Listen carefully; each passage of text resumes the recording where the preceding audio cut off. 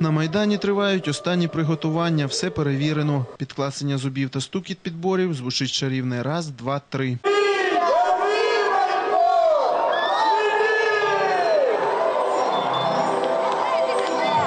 Без звичного Діда Мороза, якого відправили на заслужений відпочинок, зате з двома оленями, запряженими у віз, набитий подарунками. Головній новорічній ялинці є чим здивувати відвідувачів. У нас справжній, не зроблений, а справжній старовинний автентичний український віз, який приїхав з Полісся е, глибокого Рівненщини. У нас зроблені руками учнів Рівненської художньої школи Північні Олені, тому що тільки Олені могли в такі завірюхи і в такі заметілі дістатися сюди до Рівного. А от освітлення для головного символу нового року збирали чи не увесь рік, жартують комунальники, тому безпеку гарантовано. Ми закінчуємо е, розбирати ялинку і кажемо.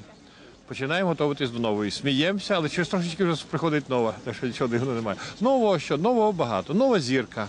Замінені е, майже всі е, шнури, е, прикраси на світодіодні. Чому? Тому що це безпечно для людей і економічно вигідно. Новорічну красуню вже оцінили рівняни. Не злякав батьків з дітьми і мороз. Малеча чи не увесь рік чекала такого свята. От дитина, внучка дуже хотіла на ялинку, на відкриття ялинки. Ну, хочу побачити ялинку. Ні, не холодно. Погода хорошая, олени красивые, Дед Мороз красивый. И елка красивая, получше, чем те года. Олені, ялинка і все подобається. Цьогорічна новорічна красуня завишки 24 метри. Усі іграшки на ній готували діти рівненських шкіл. На все про все потратили купу грошей. Більше ілюмінації буде. Ну а так що, 24 метри, потратили треть мільйона. Е, хотілося б, щоб було всім приємно.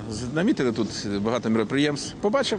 Щоправда, для свята гроші не головне. Чудовий настрій, хвилююче передчуття і гарна компанія. Рівняни потроху готуються до нового року. Головну ялинку вже засвітили. Тому Щасливого нового року! Ігор Шумик, Юрій Кобєв. Новини Рівного.